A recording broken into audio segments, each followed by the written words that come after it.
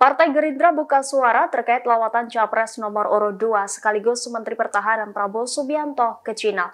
Wakil Ketua Umum Gerindra Habibur Rahman mengatakan kunjungan tersebut bisa sekaligus Prabowo mempromosikan dirinya sebagai Presiden terpilih 2024-2029. Demikian disampaikan Habibur Rahman saat ditemui di Kompleks Parlemen Senayan Jakarta pada Senin 1 April. Habibur Rahman menilai Prabowo Subianto sudah kick off sambil menunggu keputusan dari Mahkamah Konstitusi.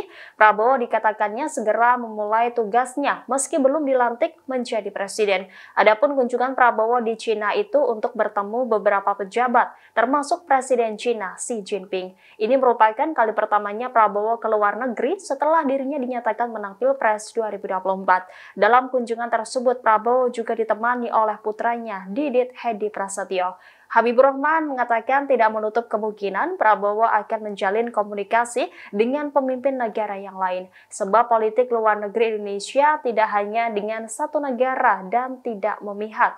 Lantas Habibur Rahman menyinggung bahwa Prabowo telah berkomunikasi dengan para pemimpin dunia setelah dinyatakan sebagai capres terpilih oleh KPU RI.